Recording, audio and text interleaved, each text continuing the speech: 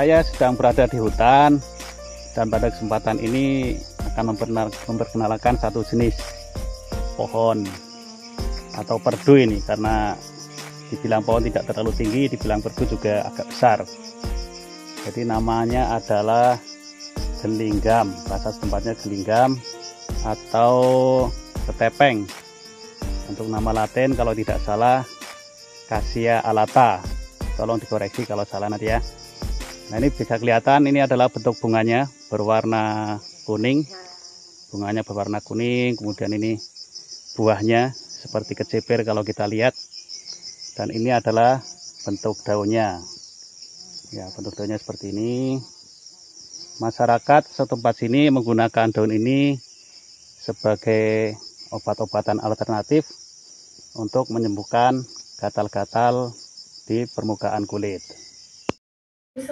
Ini adalah pohon gelinggamnya yang banyak tumbuh di kanan kiri jalan.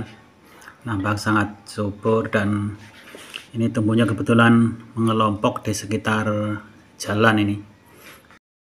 Ini batangnya berwarna kehijauan. Jadi kalau kita lihat dari atas sampai bawah ini batangnya berwarna kehijauan.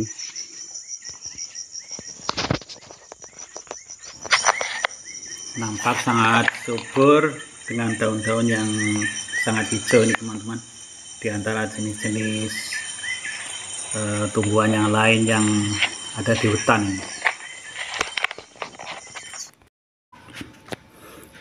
bercabangnya kalau kita lihat bentuk cabang-cabangnya atau daunnya itu uh, hampir tegak lurus dengan batang utamanya.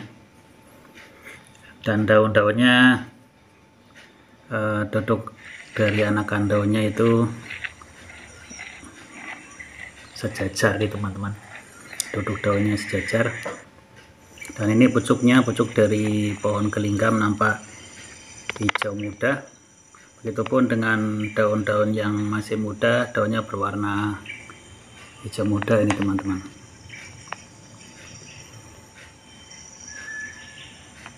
Ini kalau di hutan cukup mudah dikenali karena daun-daunnya itu sangat berbeda dengan jenis tumbuhan yang lainnya. Dan biasanya hidupnya dengan mengelompok ini teman-teman. Hmm? ini adalah bunga dari pohon ketepeng. Nama daerah sini orang biasanya menyebutnya ketepeng atau gelinggam ini kalau kita lihat ini adalah bentuk bunganya berwarna kuning. Kemudian ini bunga nih bunganya berwarna kuning. Ini warnanya warna kuning cerah ini teman-teman. Ini kalau di pinggir jalan e, nampak sangat jelas bunganya karena ditopang oleh tangkai daun yang cukup panjang. Sehingga bunganya itu nampak menjulang di atas dari pohonnya ini teman-teman. Nah seperti ini nih dan ini adalah buahnya buah dari ketepeng atau gelinggam teman-teman.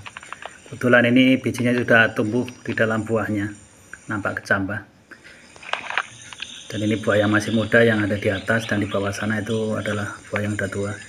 Ini buahnya seperti mirip-mirip buah kecipir nih teman-teman. Nah ini yang udah hitam-hitam ini buah yang sudah matang ini teman-teman. Cukup banyak buahnya. Kalau pas musim berbuah seperti ini biasanya eh, ketepeng ini akan serentak berbuah dan ini bunga disertai dengan buah nampak jelas. Buahnya di atasnya kemudian buahnya ada di sebelah bawahnya